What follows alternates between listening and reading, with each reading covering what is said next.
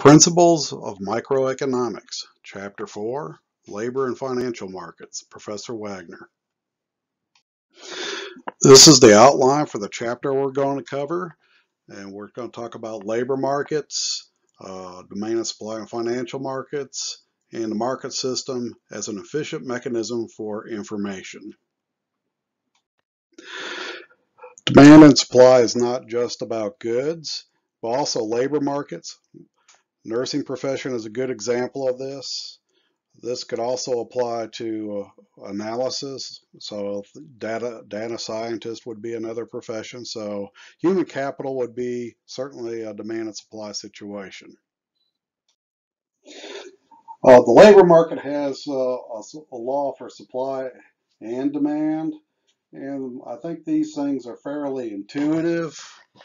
Uh, the law of demand, they talk about the higher the salary, salary or wage uh, in the job market, there's a decrease in the quantity, quantity of labor demanded by employers. So if the cost of people's time is expensive, they're going to be a lot more frugal about it, meaning the employer.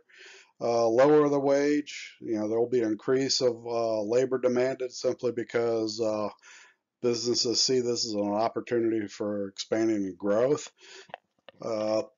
Law of supply of labor markets, a higher price for labor, the higher quantity of labor supply. So, you know, if uh, it's beneficial for the worker to go to work because he's getting paid, uh, let's say, you know, well in comparison to maybe the past, uh, more people will be looking for work. If, you know, everybody's working for minimum wage and that's what's available, then certainly most people won't even bother getting out of bed. So the lower for price for labor and the lower quantity supplied, you know, is certainly an intuitive as well. And of course, there is an equilibrium point between the two, and that's where the law of supply and demand cross on a graph. This is the graph. And so you see several different points. And so this is the equilibrium of the both the demand and the supply line.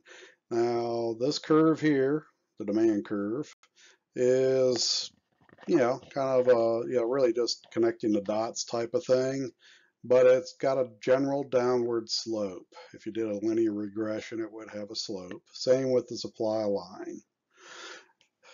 So basically, you can go from here and say, as the uh, as the below equilibrium salary, you know, takes place, there'll be excess demand or shortage and uh, of you know of uh, workers at that particular point.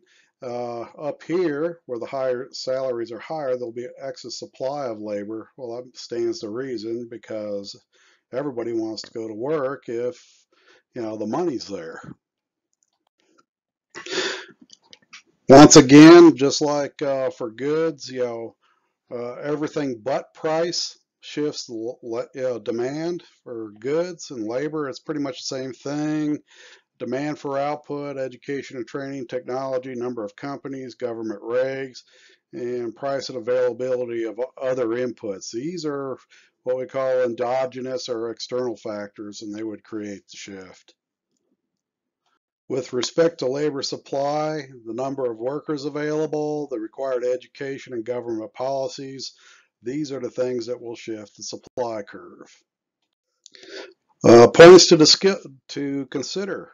How will new technologies affect the wages of high skill and low skill workers? And use the four-step process of analyzing how shifts in supply and demand affect the market. So we could discuss this briefly by saying, okay, new technologies will affect the wages of high skill workers and you know long as the uh, long as the new technologies and the skill of the workers are aligned meaning that there's some relevance or some uh, compatibility between the two. And low skill workers well you know with automation you know taking place there'll be a lower there'll be a lower demand for the low skill workers and frankly, you know, it's going to be minimum wage stuff. So anyways, just consider that. Technology and wages and applying demand and supply. And so graph A, look, you have a shift of the demand curve going to the left. And so when technology can do the job previously done by these workers, that, you know, robots reduce the demand for physical labor. And at the same time, uh, the robots are reducing the low skilled labor, the quantity of high skilled labor, the demand for that is going up because you need people to fix and program the robots. Glossary terms probably for the test. You know what a salary and wage is. Uh, minimum wage is also defined as a price floor, meaning that there's a you know, minimum amount people have to earn to go to work, legally speaking. And then a living wage is not the same as a minimum wage. For that matter, minimum wage is not a living wage. Unless you can uh, camp out in a tent or live under a bridge and still make it to work, that would not probably be a living wage for most people. Living wage would be enough money to cover all the essentials. So that's the difference. Uh, this slide illustrates the example of a price floor, which is at $10. The equilibrium point here is the demand of 1,200 workers at $10. And then we want to take a look at imposing a wage floor at $12. What happens there? Well, the difference between this point and that point would be the excess supply or surplus of workers at that rate. And so 1600 minus 700 of surplus would be 900 workers. Demand and supply can also be applied to, in the financial markets. Savings would be considered a financial capital. Borrowing would be demand for financial capital. And these are the definitions. Financial capital is basically economic resources measured in money. Interest rate is the price of money, basically. So it's the price of borrowing. And also, for the people who do in the lending, it's a rate of return on that investment. What an usury law is, is it imposes an upper limit on interest rates that lenders can charge. There's a lot of things uh, with respect to consumer protection and predatory lending, uh, which is something to consider. Uh, many credit cards, you know, just work right beneath the usury law. But, you know, when you think about it, 25% or 35% interest on a credit card, yeah, I wish I could invest a pool of my money in that and get that kind of rate of return. That's excellent. So, you know, that's what it is. It's, it could even be worse and has been in the past. That's why they have the consumer protection laws. And then this uh, is an illustration of demand and supply for borrowing money with credit cards. And so this is an explanation of the same. You have an equilibrium point. So 600 billion at the rate of 15% is considered the equilibrium point. And so as you move up or down or shifting the, you know, so if you say a 13%, there'll be a whole lot more people wanting to borrow, a whole lot more money needs to go out at 13%. So there'll be a demand for this number here. If I can draw a straight line. So something above 600 and then, of course, something underneath 600, that would be the excess demand or shortage. So there would be a number, you know, you take this number, subtract that number, that would be considered the shortage. Same thing with supply. There'll be an excess supply at 20%, which is a fairly high rate.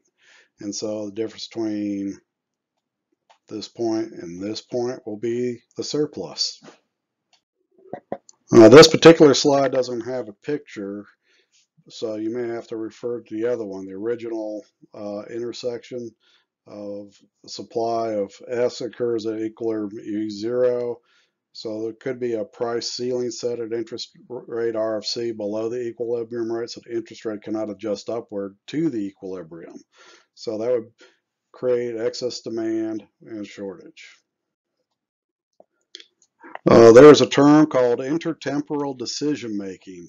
And this is wh whether a consumer decides to consume goods now in the future. Um, a good example, and, and you should think of some others, is let's talk about oil. Oil is considered essential to the you know the infrastructure of the United States. And so when to consume goods, we have what we call a national oil reserve, where we have, you know, just barrels upon barrels, millions, billions of barrels stockpiled for our use at the point that everybody else decides to freeze the market. So for some period of time, we'll still have oil, irrespective of whether the Middle East or other producers of oil, you know, continue to sell oil or not. And so we have to decide whether we go ahead and use our own resources or just simply uh, go ahead and buy theirs. So today, when we're talking about a $25 barrel of oil, well, this is really, really cheap. So in a sense, we should buy up all we can at that price and stockpile it. Now that might impact uh, our drillers, so there is a balancing question in play. So I just wanted to kind of give you an example of a dynamic. This, uh, the effect of growing U.S. debt. So basically, uh, it's talking to the demand for financial capital from and the supply of capital in the U.S. financial markets by the foreign sector before the increase of uncertainty regarding U.S. public debt. So the equilibrium point is our starting point once again. So we have a certain quantity demanded at a certain rate of return. When the enthusiasm of foreign investors for investing their money in the U.S. economy diminishes, the supply of financial capital shifts to the left. So this is where we began, and the supply curve shifts from S0 to S1, and the new point of equilibrium, there's less money being demanded because the rate of return or the rate of return is higher. Demand and supply models to speak about efficiency of information. The horizontal axis shows different measures of quantity. And so these are the three items in particular. So it could be a good or service, labor, or financial capital. And the vertical axis is showing the price of a good or service or a wage or a rate of return in the financial market. Price controls uh, impact uh, the equilibrium of prices and quantities, and the changes in supply demand essentially uh, reveal themselves through the producer and consumer behavior. And price, price controls may deprive everybody in the economy of this critical information. So you won't really know what the true demand and true uh, supply is because things, you know, there are controls put in place that inhibit, you know, the you know the true demand and the true supply uh, created. Without this information, buyers and sellers really just don't know how to react to changes throughout the economy. This is a generic demand and supply curve. And so you have some Q, a quantity, and these are the things we just spoke about earlier. And then at some price, here's your equilibrium where the two lines cross. And these are the two uh, pricing type of items that we spoke about earlier. Uh, an example, we can speak to the demand for nurses as boomers get older. And so the quantity of nurses in this case, the demand as boomers get older, because old, you know older you know portions of our demographic require more medical care that would create an upward demand for nursing. So at D0, it would shift to D1. And so the equilibrium point where you could uh, get nurses at about $65,000, there was a certain quantity, but we need more nurses. And so to find those nurses, we have to pay some some uh, salary that's higher than the 65,000 in order to find our new equilibrium point here. This is an example of uh, decreasing supply of nurses between 2014 and 2024 or what they think. And so let's suppose as demand for nurses increases, supply shrinks due to increasing number of nurses entering retirement and increases of tuition and nursing degrees. Uh, that's certainly a factor that's uh, in play today. This causes a leftward shift of the supply And so you, that means the salaries will go up for nurses entering the field. We don't know if the number of nurses will increase or decrease, but we know that the salaries are going to go up.